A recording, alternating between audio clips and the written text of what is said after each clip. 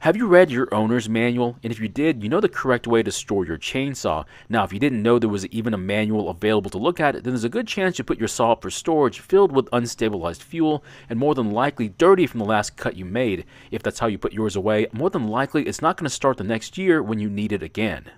Unfortunately, this one is showing signs that it was put up incorrectly. Now, I've got to service the entire fuel system to get it to work again. The only thing I need to do is check to make sure they didn't break it before putting it away.